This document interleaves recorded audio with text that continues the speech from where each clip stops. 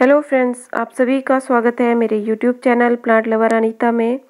Friends, ये मेरी गोल लौकी की बेल है और मैं आज आपसे शेयर करने वाली हूँ इन बेलों पे थ्री कटिंग। तो फ्रेंड्स, सबसे पहले मैं बता दूँ कि ये जो मैं वेजिटेबल ग्रो कर रही हूँ, ये मैं अभी तीसरी बार कर रही हूँ। जब मैंने पहली बार ग्रो करी थी, तब मैंने थ्री कटिंग नहीं की थी। तब भी सब्ज़ी अच्छी लगी थी और तब मैं जानती भी नहीं थी थ्री कटिंग के बारे में। लेकिन पिछले साल मैंने थ्री जी कटिंग के बारे में जाना और मैंने उसे ट्राई किया तो काफ़ी अच्छे रिज़ल्ट मिले। तो फ्रेंड्स ये देखिए, मेरी तोरी की बेल काफ़ी ऊँची हो गई है। तो आपने थ्री जी कटिंग कैसे करनी है, ये मैं आज आपको बताऊँगी। तो जब आपकी बेल इतनी बड़ी हो जाए कि उस पर दस बारह पत्ते आ जाएँ, तब आपने उस जो मेन ब्रांच है, इसकी टिप को जो है वो पिंच कर देना है। तो इसमें जो है चार बेल लगी हैं, ये चार जो है मेन ब्रांचें निकल रही हैं। इनको मैं पिंच कर रही हूँ फ्रेंड्स पिंच करने के बाद इन पे जो है साइड ब्रांचेस निकलेंगी, दो दो करके। तो पाँच पत्ती से नीचे जितनी भी साइड ब्रांच होंगी, उन्हें आपने हटा देना है।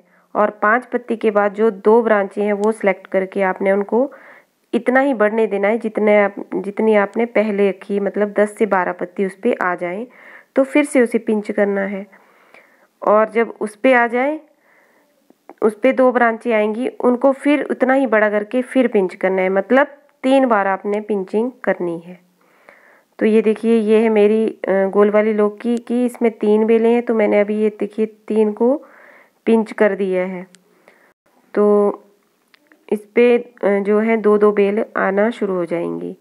और उसके बाद में फ्रेंड्स जो है करेले की बेल है तो ये सबसे पहले बड़ी हुई थी तो मैंने इसकी पिंचिंग पहले ही कर दी है। इसकी पिंचिंग दो बार हो चुकी है मतलब जो ये मैंने पहली पिंचिंग की थी, ये देखिए यहाँ से की थी।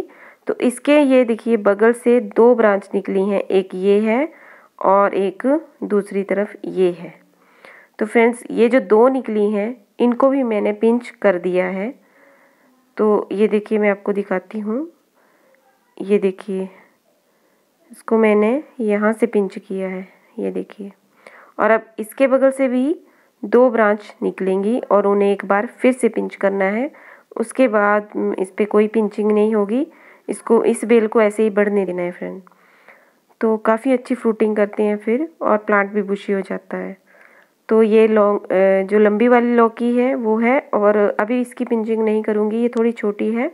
थोड़ा और बढ़ने दूँगी इसे। और ये स्कैश है फ्रेंड्स, ये तो इस पर फ्लारिंग ही होती जा रही है, फ्रूटिंग बिल्कुल नहीं है अभी। और ये ककड़ी की बेल है, इस पर छोटी सी ये ककड़ी भी लग पड़ी है अभी। और इस पर भी चार से पाँच बेल हैं तो इनकी टिप को भी मैं ऊपर से पिंच कर दूँगी फ्रेंड। तो पिंचिंग जो है तीन बार होनी है फ्रेंड तो मैं अभी एक एक कर रही हूँ। और फिर मैं आपको एक कॉपी में ड्रॉ करके समझाऊँगी कि बाकी की पिंचिंग आपने कैसे करनी है? क्योंकि मैं इतना वेट करूँगी तो फिर आप लोगों की बेल जो है वो बड़ी हो जाएँगी। तो मैं चाहती हूँ कि आप भी इस चीज़ को ट्राई करें और ज़्यादा से ज़्यादा सब्ज़ियाँ भी आप भी ले सकें। तो ये फ़र्स्ट पिंचिंग के बाद मैं आपको ड्रॉ करके ही समझा दूँगी कि आपने सेकंड पिंचिंग करनी है, कैसे करनी है और थर्ड वाली कैसे करनी है। तो ये देखिए, काफ़ी अच्छे रिज़ल्ट मिलते हैं उसके। तो अगर मैं इतना वेट करने लगूँगी तो फिर लेट हो जाएगा। तो ज़रूर करके आप ट्राई करें फ्रेंड अगर आपके पास दो प्लांट है, एक पे आप थ्री जी कटिंग कीजिएगा और एक को ऐसे छोड़ दीजिएगा, आपको फ़र्क मिल जाएगा। तो फ्रेंड्स ये देखिए, मैं कॉपी पे ड्रॉ करके थोड़ा समझाने की कोशिश करती हूँ। उम्मीद है आप समझ सकेंगे। तो फ्रेंड्स ये देखिए, एक बेल जा रही है, मान लीजिए, ये मेन ब्रांच है। तो 10 से 12 पत्ती आने के बाद आपने उसे पिंच करना है, जैसा कि आपको मैंने अभी वीडियो में दिखा दिया है। एक पिंचिंग आप, आपसे शेयर कर दी है, देखिए। फिर आपने देखना है फ्रेंड पाँच पत्ती से नीचे आपने कोई भी साइड साइड ब्रांच नहीं रखनी है, उसको हटा देना है, अगर आ रही होंगी तो। और पाँच पत्ती से ऊपर आपने सिर्फ़ दो ब्रांच रखनी है सेलेक्ट करनी है और उनको बढ़ने देना है। इतना ही करना है, दस बारह पत्ती तक वो बढ़ जाए तो उसे फिर से पिंच करना है, जैसे कि अभी मैंने ये बताया आपको। फिर पिंच करेंगे और फिर आपने उसी प्रोसेस से पाँच पत्ती छोड़ने के बाद दो ब्रांचें बढ़ने देनी है। उतनी ही बड़ी जितनी पहले की हैं। और उनको फिर से पिंच करना है और वो उसकी थर्ड पिंचिंग होगी। ये देखिए, बारह पत्ती के बाद आपने पिंच करना है और पाँच पत्ती से ऊपर ही दो जो ब्रांच हैं वो सिलेक्ट करनी है। देखिए, तीन बार ये इसकी जो है पिंचिंग हो चुकी। कर दी मैंने। तो अब जो थर्ड पिंचिंग करने के बाद जो दो ब्रांच आपकी निकलेंगी फ्रेंड उनको आपने कुछ नहीं करना है अभी। उनको जो है बढ़ने देना है और बेल को चलने देना है।